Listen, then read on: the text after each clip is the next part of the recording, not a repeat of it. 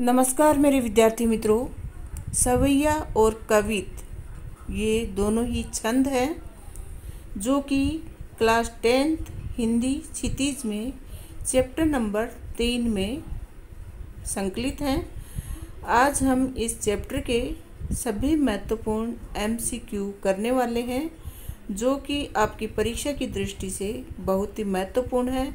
आशा है ये पाठ आपने अच्छे से समझ लिया होगा। और सभी एमसीक्यू के जवाब देने को आप रेडी हैं। चलिए शुरू करते हैं। एक एक प्रश्न का उत्तर आप सोच समझकर अपने मन में रखिएगा और देख लीजिएगा कि आप सही जवाब दे रहे हैं या फिर आपकी तैयारी कैसी है। पहला प्रश्न है, कृष्ण की छाती पर किसकी माला सुशोभित हो रही है? तो कृष्ण की छाती पर किसकी माला? पहला ऑप्शन सोने की माला। दूसरा, हीरे का हार। तीसरा, फूलों की वनमाला। और घ का ऑप्शन है, इनमें से कोई नहीं। तो आपने उत्तर सोच लिया होगा। इसका सही उत्तर है बच्चों, फूलों की वनमाला। प्रश्न नंबर दो, किसकी आँखें चंचलता और शरारत से भरी हैं? कृष्ण की, राधा की, मीरा की, शिशु की। तो पहला उत्तर सही है ऑप्शन क, कृष्ण की। कवि ने कामदेव के शिशु के रूप में किस ऋतु की कल्पना करते हैं? तो कामदेव जैसी ऋतु कौन सी है?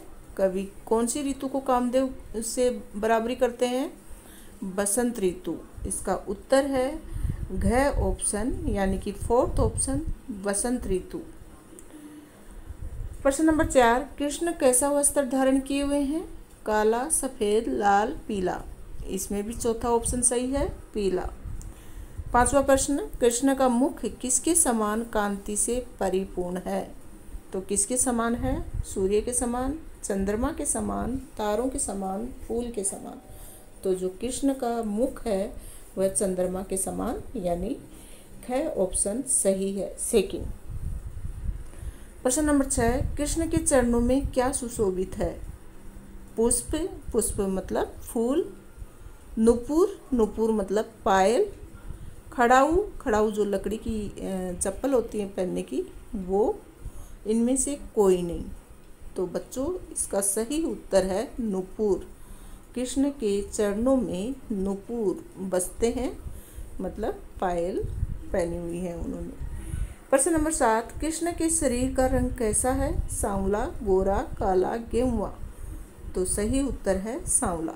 ऑप्शन नंबर वन कैब कृष्ण को किसकी भांति सजा धजा दिखा, दिखाया गया है? तो कृष्ण किसकी भांति लग रहे हैं? नायक के जैसे, देव के जैसे दुल्ले के जैसे, इनमें से कोई नहीं। तो सही उत्तर है बच्चों, कृष्ण दुल्ले के जैसे लग रहे हैं।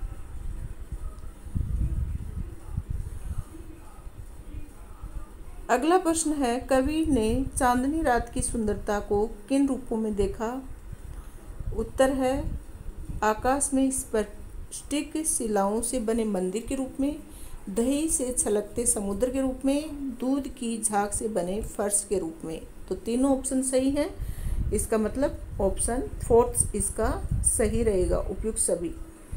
किसकी जगमगाहट राधा की सखियों की तरह लग रही है? बल्ब की, सूर्य की, सौंदर्य की, तारों की। तो सही उत्तर आएगा घ, ऑप्शन चौथा, तारों की तरह।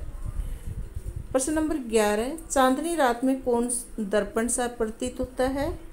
तो ऑप्शन है आकाश, तारे, चाँद, जल। सही उत्तर है बच्चों, आकाश। कवि ने चांदनी की कल्पना किसके रूप में की है? सुधा मंदिर की तरह। देव मंदिर, सौंदर्य महल, इनमें से कोई नहीं।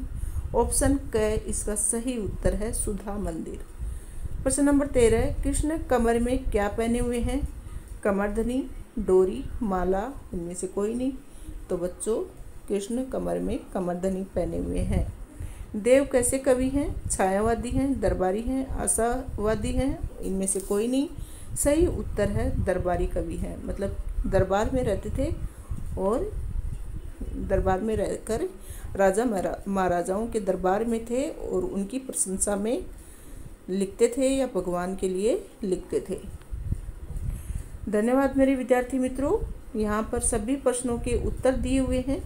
अगर आपको अच्छे से नहीं समझ में आए तो यहाँ उत्तर आप देख सकते हैं और अपने नोटबुक में लिख सकते हैं। एक एक प्रश्न का सही ऑप्शन चुनकर अपनी नोटबुक में अवश्य लिखें और उसको बार बार रिवाइज करते रहें। आपकी एग्ज़ाम नज़दीक आ रही है तो आपके लिए ये सही रहेगा। Thank you so much video को लाइक करें शेयर करें और बने रहिएगा। सभी वीडियो को देखते रहिएगा।